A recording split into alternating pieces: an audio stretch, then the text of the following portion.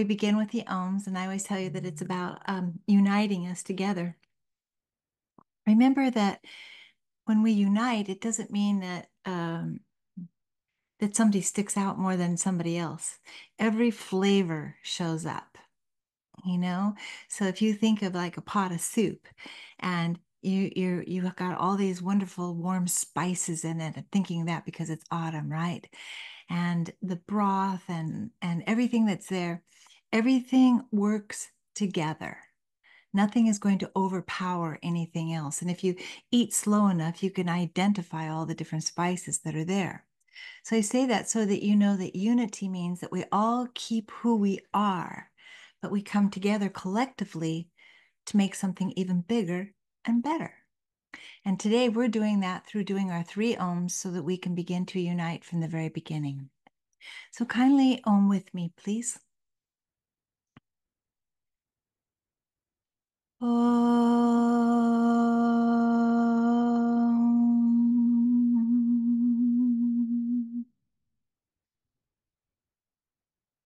Om.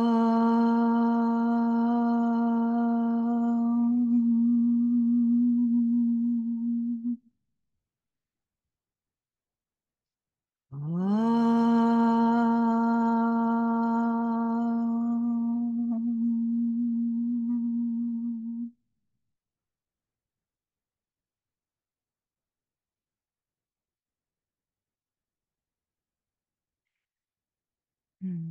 It always feels so lovely to find that s- sweet spot of calmness and peacefulness that we can begin from. And even like how we can learn from oming is about to have faith in ourselves, which of course this week we're learning a lot of, or this month, we're learning a lot, or last month. I got to get into my time frame, don't I? Um, we've been learning a lot about faith. And it's faith isn't really a word that I think a lot of people use. Certainly, it's used in terms of um, religious studies, and um, not that spiritual studies are separate from religious studies. But we're not going to really talk about religion today as much about as much as it's about spiritual studies. And when we have faith in ourselves, one of the things that happens is we begin to appreciate all the different parts of ourselves you know, because sometimes you can be, well, I like this about me or I like that about me, but I don't like this about me. And this is really awful and this needs improvement. So we kind of separate ourselves, even just like thinking about that, rather than seeing that all of our parts, our body parts, as well as our mind parts, our emotion parts, that all of them are that pot of soup that I was talking about. They all work together. And we've talked about how every thought that we think affects our body because it does. You know, um, we can say, oh gosh, I got a headache. And someone can say, well, yes, you've been working too hard or you're stressed or that sort of thing. And we know that's true. But yet we don't think about that my thoughts and my body are in perfect relationship with one another. So we treat the body part, but not the stress part. not the thought part. so then that keeps continuing and we keep having stress and we keep having problems in our tummy or wherever it is that you hold it. It can uh, manifest in your muscles and everywhere else, actually. So what I'm saying is, is that when we have faith in ourselves, we begin to realize that yes, we can see our body, we can see other people's bodies, and that's evidence that we have a living being in front of us. But if we lived in another dimension and we didn't have these bodies, we would be able to see one another's minds much more clearly. But we don't. We live here. And that's that's one of the tasks that we have to do is to learn to be able to see our thoughts. What are we thinking today? What's going on inside of us? Seeing your thoughts is listening to your voice, listening to what you're saying. When you're in conversation, listen to yourself. You're listening to the other person, but sometimes we speak without listening to ourselves. We don't. Sometimes we don't. You know, when we say, and it just flew out of my mouth. well, that's because it's been there. That's because it's been there for quite some time. And um, thoughts that have been with us for a while, they have this uh, tendency to get bigger and bigger. And they become more prominent um, inside of us. So it's important that we take the time to listen to our own thoughts. So, as having a conversation with someone, to listen to your own thoughts doesn't mean you're thinking. It means you're being quiet enough to experience your side of the conversation. So, if I'm having a disagreement with one of you and you're at me and I'm at you, it's very difficult to suddenly become aware oh my gosh, I'm flying off the handle. Well, it is. It's very hard to understand how to do that. But once you start to um, experience listening to yourself as you're speaking, everything will slow down. And as you slow down, you might not want to slow down because it kind of gives a space for another person to say whatever they're going to say. Well, okay, if they're going to be um, a torrent of uh, bad words to you, know that it's time for you just to say, okay, you know, maybe I need to walk away and come back to this conversation later. Do you know how much strength what I just said that takes? I do. And so when I say it to you, I say it knowingly that this takes practice, that this isn't something that we're just going to jump into. So, really, what I'm trying to do is to help us to become more aware of it. Because from awareness, then we establish a practice of faith in ourselves. Because, quite on- honestly, sometimes when we're in a disagreement with someone, we have to keep doing this volley back and forth, back and forth because we want to win. And of course, they're saying the same thing. I want to win this conversation. I can't have her have the last word, or, you know, she said this to me, so now I have to step it up. Step it up. It's really step it down. Because when you retaliate, it's not a step up, it's a step down. But we amplify, we get bigger, everything gets bigger, our voice gets bigger, our anger gets bigger, everything gets bigger and bigger and bigger. And then you can't hear yourself at all because you're so busy wanting to retaliate. So what happens is we lose faith in ourselves. So we can't walk away. When you have faith in yourself, you have more understanding of your inner strength. That you don't have to stand there and be brutalized. You don't have to stand there and be um, told how bad you are. You really don't. You can, you can, again, through practice, you can say, no, thank you. And we can walk away. Very difficult, only because the practice isn't there. It isn't difficult because the process is difficult, but it requires a practice. We have a practice of staying there and punching one another with our words, you know. And it's like when people say to me, Well, the person didn't hit me.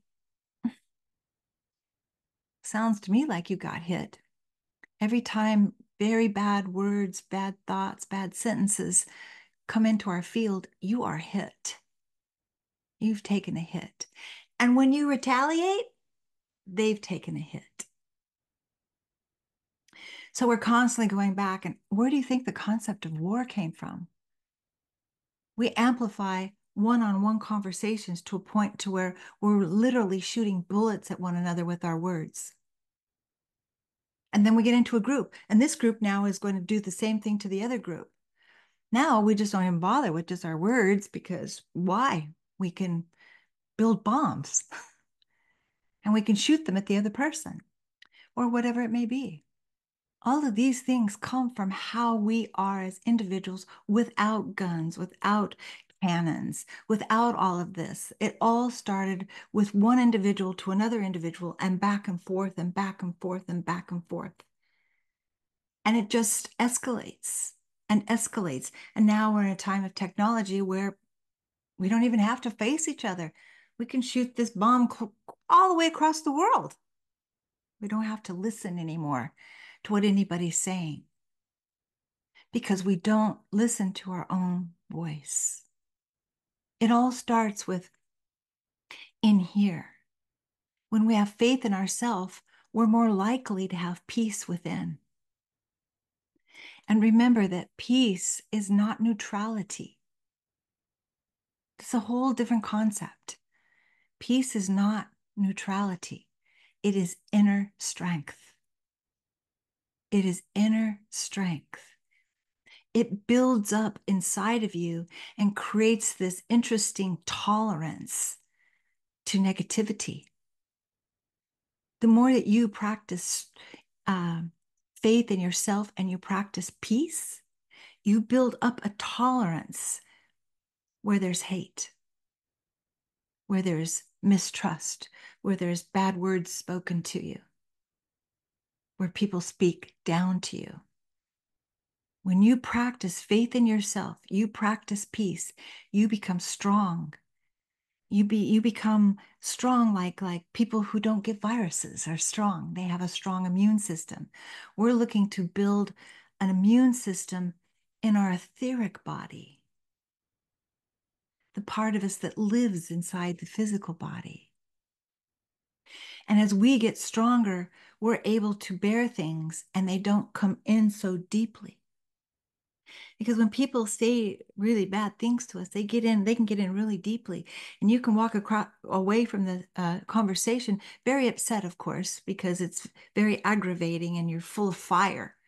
You see fire bullets fire and it takes time to cool, cool down and even after you've cooled down two days later three days later four days later the conversation is still repeating itself in your mind five months later, two years later. See what I'm saying? So I'm saying this because our saboteur this past month has been the word betrayal. This is how we betray ourselves, what I've been saying. But you see, it's unconscious betrayal. So, what I'm talking about is to help us to become more conscious of how we betray ourselves, which makes us completely vulnerable to being betrayed by others because they betrayed themselves and they have no practice whatsoever.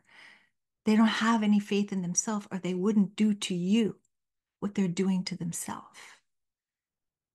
People who are always angry, well, quite often, I should say, and people who generate anger in others, they don't have faith in themselves.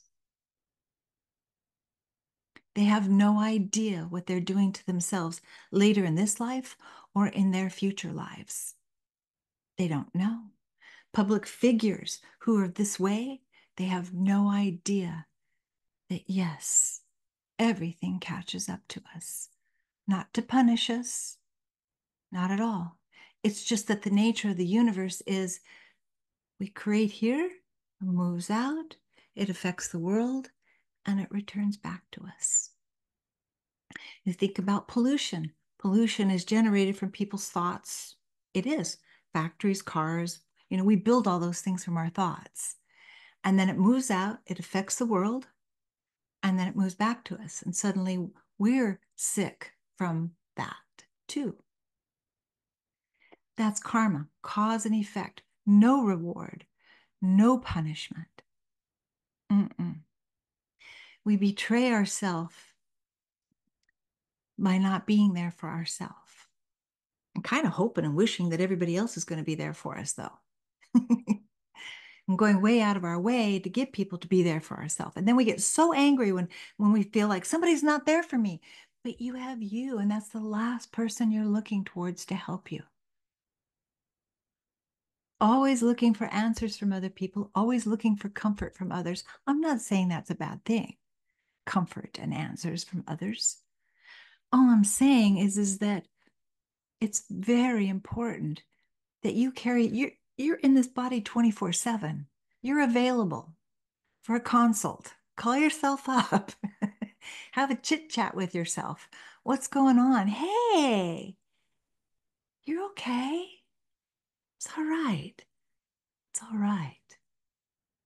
And to help yourself to, to be soothed, to be comforted to practice a chant or a mantra, affirmations that are very spiritual. So, very spiritual affirmation, it can be the way you say it rather than exactly what you're saying. Of course, you want to say as high words as you can possibly have, but you could say something like this God is peace, I am peace. Now, you can say it like this. Well, God is peace. Now, where did I put my keys? Oh, yeah, yeah. I am peace.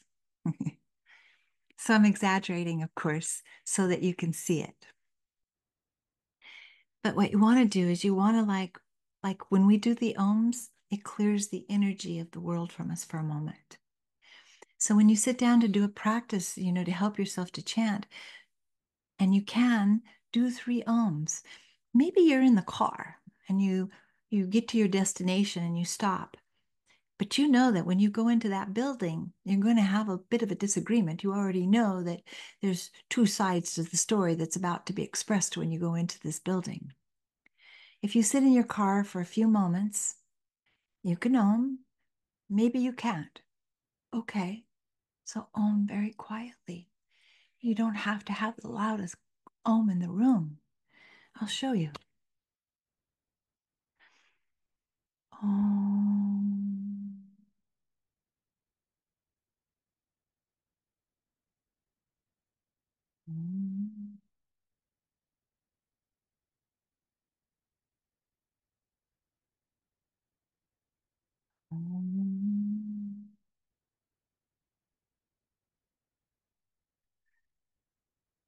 God is peace.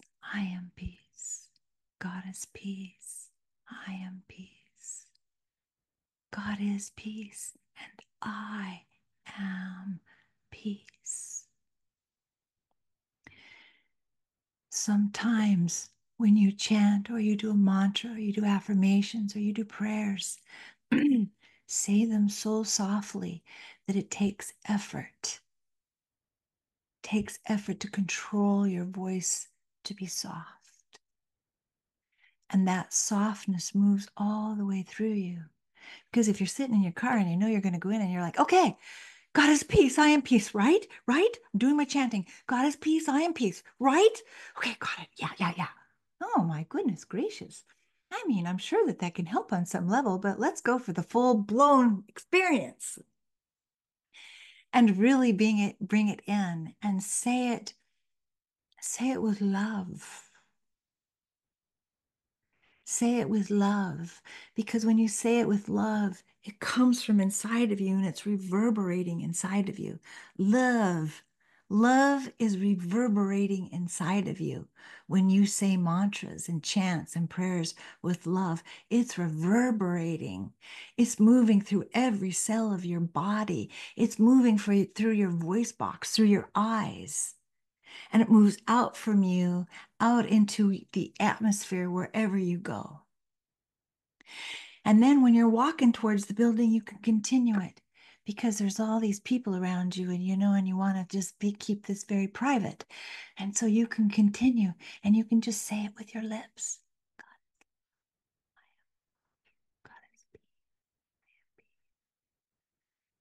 And then when you get into the elevator you can say it to yourself. So by the time you get to see this person, you've been chanting with such self control that when the conversation happens, sure enough, here comes the attack. But you're filled with the vibration of love. And it gives you the ability to have faith in yourself because you've already come to your rescue before anything has even happened. And so you have the inner strength to not participate. And the other person will feel that, what is that about you today? I feel something. I feel something. They won't know it's love because in that moment, they're not consciously aware that they're made up of love and so are you. No awareness whatsoever, even though it's the truth. So we have to keep remembering about love. So, love for the self is love for God. Love for God is love for the self. Remember that when we talk about this little three letter word God, it is the infinite. It's so big that we can't even imagine it. That's why I've told you mm-hmm. before, like the yogis say, if we were all cows, we would imagine God being looking like a cow. So we say God looks like us, which is interesting because what does God look like? Everything. God looks like the sun. God looks like every human being. God looks like lizards. God, God looks like the solar system. God looks like the deepest, darkest space where you can't see your your hands in front of your face.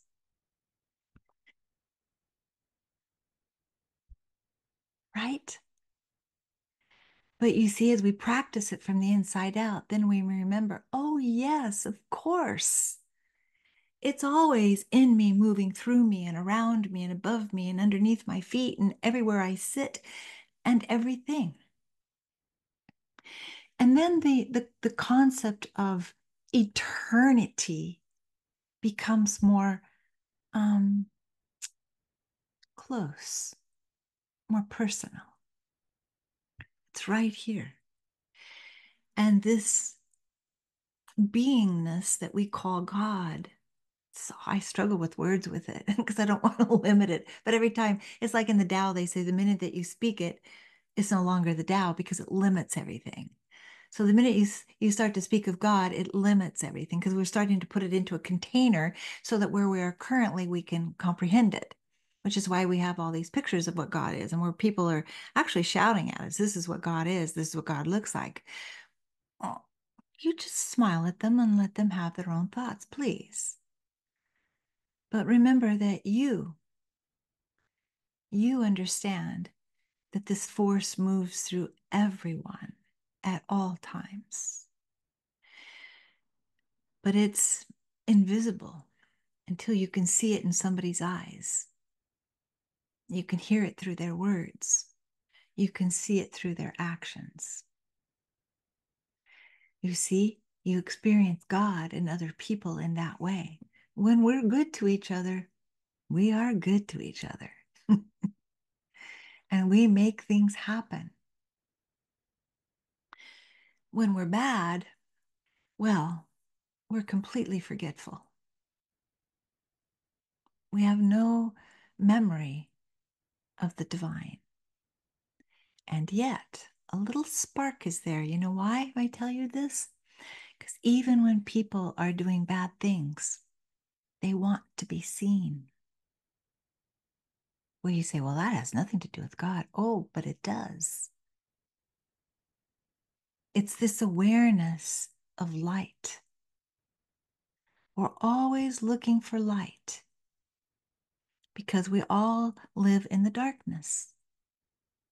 Darkness is not bad. Please don't get me wrong when you hear me say the word darkness. You have a shadow because the light isn't occupying the light is not occupying that space. So you have a shadow. And that shadow goes everywhere with you. But The light is not occupying that space. That's darkness. So in our minds, the places that make us think bad thoughts about ourselves and and do things to others, it's like a shadow inside of our mind, inside of our heart. And so we look at others and we may see the light in them and we want to take it from them when we're experiencing jealousy, we steal from other people. We can steal their moment. We can steal their money. We can steal um, their whatever it is in that moment because we see their light and we want that light because we're living too much in the shadow world we're not really feeling the light. We're not being warmed by our own heart. We're living too much in our head thinking that I'm right, damn it, and I'm going to prove it to the world I'm right. You see my jaw clenching? so when you're by yourself and you're thinking these thoughts, your entire body is invaded by that. So again, if you're in your car going to this office or this house or wherever you're going to meet this person, your body is already completely tight if you haven't come to your own rescue. You're in a place where when you clamp down on yourself like that, you are unconsciously keeping the light from spreading inside of you. And if you can become aware of it and open up, you will start to shine. But like this, your shoulders all the way up here, your jaws clenched and your fists are clenched and all of these things. No, you will not feel the light, but you will want it. You will want it.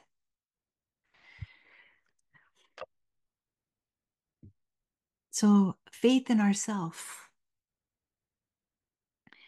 is what I'm always going to say to a thousand times. Faith in ourself is faith in God. Faith in God is faith in ourself. And the more that we have this faith in ourself, I'm telling you, you won't fly off the handle. You won't wish other people ill will. And all of us have done this. Every single human being on the planet. Moi? all of us is like, well, I hope that they get it too. well, they will. And so will you. And it'll keep going. And that pain will keep happening. And we'll wonder why it's always me. why, why me? Until we start to see how much practice it takes to be steady within ourselves. And I hope when I say these things to you that you don't you don't feel guilty, you don't feel bad about yourself and think, gosh, I, I am doing that. No, just have awareness. Have awareness. And remember that everything you do, you want to do it with intention. And intention, usually when you hear this word intentions, people say, I'm setting intentions. It's usually about money. You know, I'm setting intentions to make X amount of dollars or have this new job. Bravo. Okay. But if you don't set intentions on how you want to be inside, no matter how much money that you have, you're still going to be the same person who's lost as you are now. So we set intentions in this way. Whatever it is that you're saying, know that it's powerful. Know that it affects the people around you. Know that it will return to you. Set the intention today, like today, can say, okay, since our word has been faith, we'll use that word. Today, I'm setting an intention to have more faith in myself, in my thoughts, in my words, and in my actions. And as you do that, you'll keep coming back to yourself, having faith in yourself that you got this, that you do have strength, that you can bear things without retaliation, that you're there for you. It's an important practice. And the work is never done. this is a practice for the rest of your life and into your next life. And don't think that when you're in the other world that you're not working, because you are this practice of spirituality doesn't stop because we lose our body and we're in the other world and we don't have a physical body. You don't need one when you're in the other world. Those worlds are built of light. You're in your light body, but you're still you. You're still working. Spiritual work never stops. With a body, without a body, you're still working. Till when? I don't know. All I know is that eventually become enlightened. I wish I could tell you, well, this is what enlightenment really feels like, and this is what an enlightened person does. We have ideas about it, right? We have ideas. But it's like the word God. We have ideas, but we're still learning. We're still learning. So, one of the most difficult um, things to overcome is the word betrayal. Whew. I mean, it's a really, really hard word. And we've all felt betrayed. And I'm sure we could come up with someone in our life who feels betrayed by us. It's a feeling of, um, sometimes it's like it's a feeling of you didn't see it coming. And you get whacked in the head with it. You're like, what?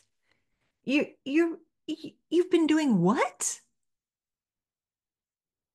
It makes you spin when you get news like this, that you suddenly realize that you've been trade, betrayed. It could be in a personal relationship. It could be with something that you bought, like a house you find out, oh my gosh, it's really not mine. This happened. There's betrayal on every level. And when you feel it, and when the first moment that you understand that this has happened to you, it's it can feel like like like someone's punched you in the face or the air goes out of you it can there's so many ways that you feel it and that's only the beginning. Because betrayal has a way of working inside of us to the point to where we can really become full of hate. Because we feel like it's our right. Well you hear this one this one thing a lot in life. I have a right to be angry. And you know my response to that is you have a right to be peaceful you have every right to be strong and kind. You have every right to be peaceful. Of course, you have a right to be angry. Why would you be defensive about it? You already are that in that moment. Because you know it's not healthy for you, for the environment, or for anyone else. But at that moment, you don't have self control. And when we don't have self control, it's because we don't have faith in ourselves. We lose control because we lack faith in ourselves. The more faith that we have in ourselves, the more self control that we have in any situation, overcoming our own bad habits, being able to stand strong in the face of adversity, or when we get that news that we've been betrayed. And as you're healing from betrayal and you practice spirituality, you will know this is coming from some other space and time. I put this energy out somewhere and it's returned back to me. Now, I'm very careful when I say this because there are people who suffer great violence against them. And I don't want to make everything kind of seem like, well, yes, yeah, see, they've done this and it's come back to them because it, it immediately, when people hear me say that, sometimes people feel like she's saying I deserve that or I'm being punished. You'll never hear me use the word deserve when we talk about karma. No, or punished. Never. Nobody's deserves to be hurt, to be harmed. Nobody does no matter what's happened. And yet, it's on it happens every day to one person at a time, to millions of people at a time. We must be very, very generous in our compassion and understanding to people who have really been harmed when we learn about these spiritual um, acts called karma. Nobody deserves to be harmed. It's just that we live in a world right now where harm certainly is on the rise on a global scale. And it's very important that we help ourselves to not get involved wish, wish, with wishing harm upon others because we don't agree with them, because we think they're stupid, because we think they're dangerous. Well, then we become dangerous too. We've joined their club without even knowing it because now we're wishing it on them. We must be strong and kind. Strong. Kindness takes strength. Anybody can condemn other people. Anyone can lie to another human being. Anyone can mislead and hate. No intelligence is required whatsoever. It takes intelligence, spiritual intelligence. It takes practice and work and commitment to have faith in yourself so that you reduce the harm from you out to others and the harm to yourself by living in, in this terrible, trashy world of lies and exploitation. We have to grow into spirituality. It's present with us. The seed is there. We're born with the seed because the divine lives everywhere. But we have to plant that seed of intention the intention to be better, to love more deeply. You will not become wimpy. Love is not wimpy. Why would we all want it so much? Why would we want to see it everywhere? Right? There's nothing wimpy about love. Forgiveness, understanding, generosity, feeding people who are hungry, helping people find homes, praying for people when there's disasters. This takes strength. You could read it in the news and just go, huh, walk away. It's, it just is. I'm not saying that's bad. All I'm saying is we can do better. When you see something that has disaster in it, you can send them love. So if you're on your phone, that's why I'm doing this. This is my phone today. so if you're looking on your phone and you see disaster and you feel in your heart, oh my gosh, those people, send them love. Send them love. You see why I say it takes um, inner strength? Because we have to remember. We have to remember that this is who we have always been, but we've forgotten because we're not seeing it mirrored to us. We're not seeing it in in in uh, leaders of churches as much as perhaps we would like to. We're not seeing it in leaders of the world, perhaps as much as we like to.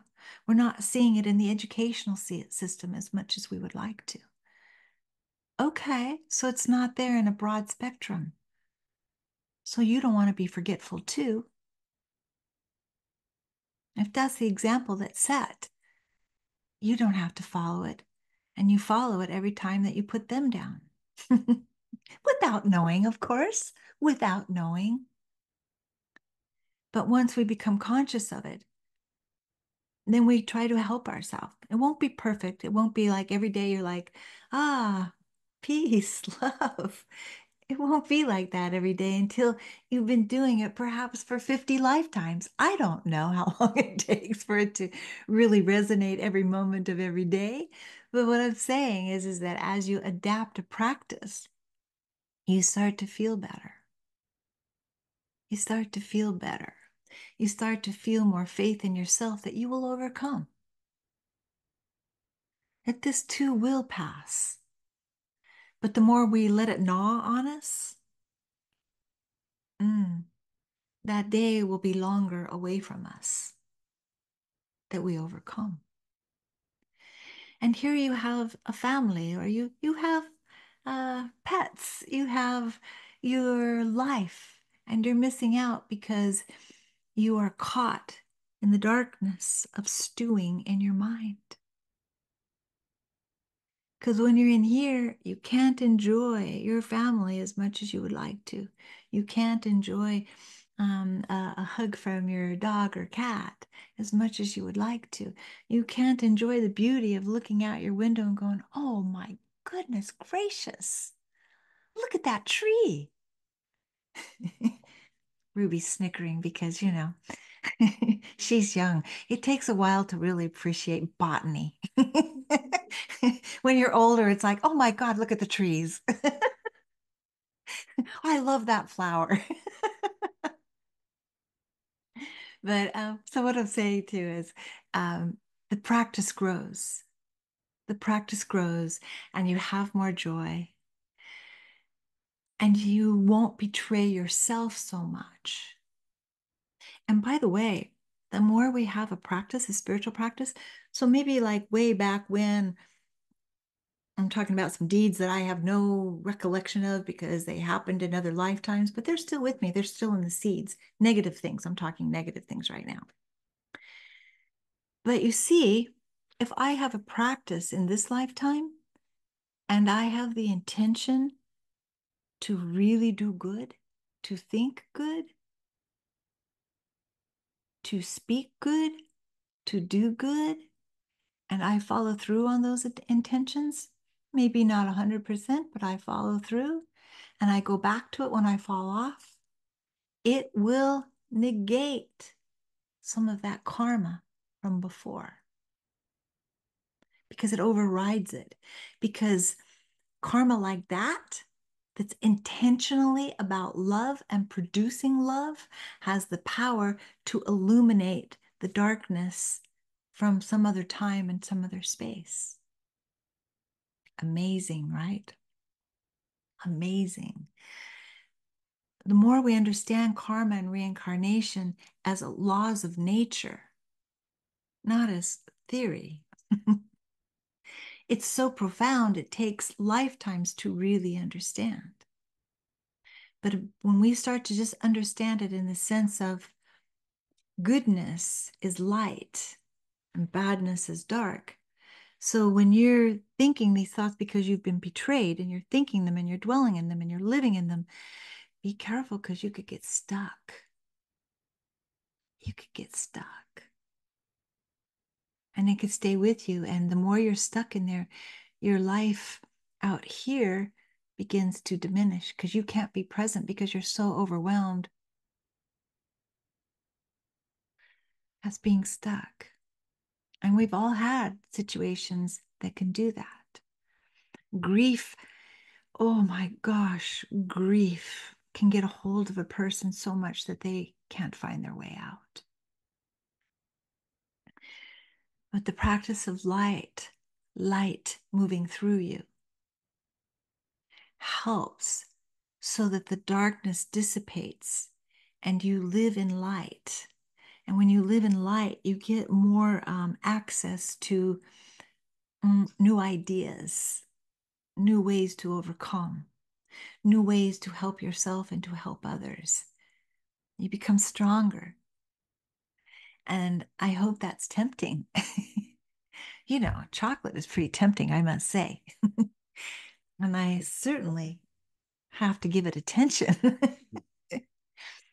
so now I want to feel that way, of course, about the intention to create love within and outside of us, also. To have a sense more of it's okay to give because sometimes people like it's not okay. I see people that are like, no, I'm not giving to those people. Why don't they get a job? Uh, mental illness.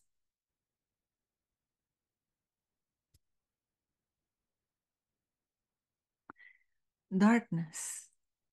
That's a dark thought. When you project a dark thought onto a person who's suffering, that's a dark thought.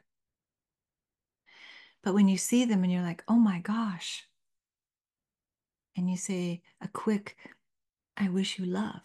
I pray for love for you today. Whatever it may be. That's light, and you're putting light into the world. And our world right now, all over, is it's in some serious darkness, but it's nothing we can't overcome. We're not to that point to where it all goes dark. no, and I say as of yet because, of course, it could, but you see, I'm not worried about it. Because remember that old corny thing um, about which uh, it is corny, but it's not corny at all. It's the truth. You know, if all the candles went out in the world, and except for one, you could bring all the light back again. So each individual is a very strong candle. And everywhere that you go, if you carry the light, in other words, you carry awareness of light emanating from you, everywhere you go, that candle, that lit candle goes. And wherever there's darkness, people are in that light. Mm-hmm. It's interesting. We can actually like inspire someone by standing next to them in the supermarket if you're chanting about God and love. They won't know it. You won't even know you're doing it because you're actually doing the intention for love, not just as an experiment to see somebody look at you because you're doing it. No. This is between you and the divine that lives inside of you, outside of you, lives in the people over here and over there, lives in every circumstance and every situation. So we might just be, um, you know, a slice of carrot in the soup, but every carrot matters. every green bean matters. every everything matters. Even every little every little a sprinkle of paprika. if you're only a sprinkle of paprika, it matters. It matters, it contributes to the soup. So if I really think a lot of very dark thoughts, very bad thoughts, thoughts where I'm going to like show people in a really negative way just how powerfully negative I am, well, that's when you use salt instead of sugar when you're baking. Changes the recipe. Very bad. Can't eat it. So, you see what I'm saying? Watch your recipe. What do you want in your recipe and who you are? And I say that so that you stay an individual. Like snowflakes, everyone is unique, but you can't really see individualism when they're all laying on top of each other. But they still are individuals. Absolutely. And that's what we want to do is be who we are. We want to learn from each other. We want to give to one another. Absolutely. It's very important. And our country, um, well, we have a lot of ingredients in terms of all the different kinds of people that live here. Right? So many different people from all over the world live here in our country. We've got a soup that is completely unique. we do, you know, and we're so young. You know, we're not like as old as China and India or Russia. I mean, these countries are thousands of years old. Here we are, baby 243 years old. Here we are, hello. And we have all of these ingredients. We are a complex flavor. you know, we have chili peppers and we have sugar and we have every flavor in between. We have everything here. But we have, because we're so diverse, we have to learn to blend with one another so that the paprika can be come through, the nutmeg can come through, right? All the unique flavors are all there. And when we slow it down and we begin to see that, then we become this flavorful soup that we can all eat from and share it with the world. Hey, come taste us. Right now, if they taste it's going to be like, oh, too much of that, or not enough of that, because we're not making room for all the flavors to blend. So we have to like help ourselves to make room for all the flavors to blend. Blending is not enmeshment. Mm-mm. It makes room for every flavor to shine, every human to shine. And it helps us to be better to animals, not only humans. Animals are really having a hard time. Climate change does not only affect human beings, it affects the animals, the birds. They're all they're all going through it. There are birds who are losing um, losing their way in the air when they never did before. There are types of trees that can't grow like they used to. Animals all over the world are suffering. They too are part of our soup.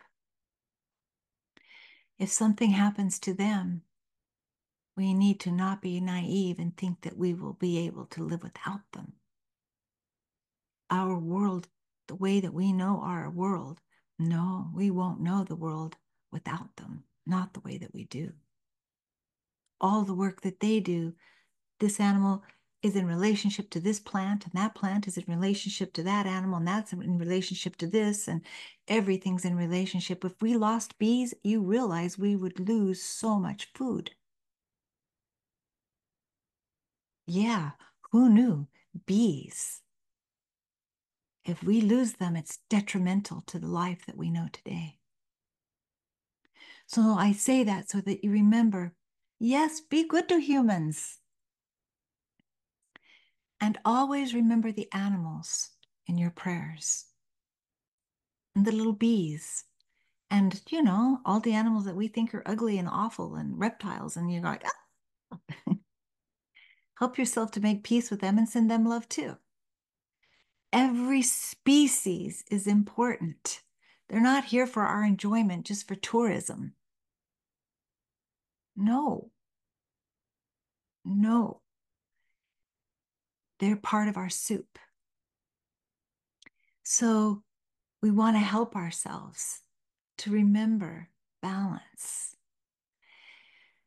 We don't want to get sucked down the drain in darkness, get, get just get covered in goo and forget who we are and forget who other people are. Come to your own rescue. Come to your own rescue. It will make you feel better because if if you don't come to your own rescue, you are at the mercy of other people, and sometimes it doesn't come. Sometimes compassion from other people don't come. Sometimes mercy doesn't come to you in your situation. Sometimes it doesn't come. But if you've forgotten you, then you are in serious trouble. Come to your own rescue first and foremost. Make it a practice every day. Help yourself to feel strong and kind every day. No betrayal here. Help ourselves. It's not easy. I, I want to keep making that perfectly clear. Everything that I'm saying to you requires practice, it requires intention, it requires commitment. And when you fall off and you start to feel bad and you think, oh my gosh, I don't feel like I did when I was on that path, get the hell back on it immediately, if not faster. right? Come to your own rescue. You will fall off. I fall off. You fall off. We fall off. And we'll do it again and again and again in varying degrees. Get back on it. Get back on it. Never think to yourself, oh, see, I got off it. Or don't say to yourself, oh, that doesn't work because I still feel bad. Well, hello. It's not an antibiotic. You're not going to feel it right away. You'll feel a little bit and a little bit. And after a while, you're going to want it more than you want chocolate. And that's saying something. so it's important. These things are very important to really want to have peace. So for our uh, for the month of um, October, I've been giving you little hints about our word. so you could ponder on it, you know, when I tell it to you. But um, our word for October is unity. And the saboteur of for there can be many saboteurs to unity. Let's get real. but uh, for October, the saboteur is enmeshment. Because sometimes people don't want to be united with people who have a different viewpoint because they're afraid they'll just have to go along with the other people, be all enmeshed, and they'll lose their importance or their individuality. Their flavor will get over, uh, will just disappear. You won't be able to taste that little hint of nutmeg in there. But with unity, ah, you'll remember nutmeg. You'll remember it because you could taste it. But when we're enmeshed, no, we can't taste it. No. The strong flavors, well, they, they just have to go away. so, unity. And um, I purposefully thought about this word because we also have a big election coming up. And it's really important that we put our thoughts our um, intentions on unity through peace. Unity through peace. Let us chant on our own peace, unity through peace, unity through peace. Right? We need all of this right now and you pour your heart into it, I'll pour my heart into it. We're unified. we're in different places right now and we're completely unified. We're all focused on the same thing right now. You see? It works. We're going to focus on this and it'll spread because we all breathe the same air. It'll go out, right? I don't know if you all know, but I there was a an announcement that went out though, but we're not doing meditation uh, this week afterwards because um, we're doing a intuition one class afterwards. So um, so that doesn't mean you don't meditate this month. so I uh, I wish you peace and your families and I wish all those that uh, have disagreement with you or you with them, wish them peace too. Mm-hmm. So let us om together to remember that everything that we've did here today is unified with our oming. Om. Oh.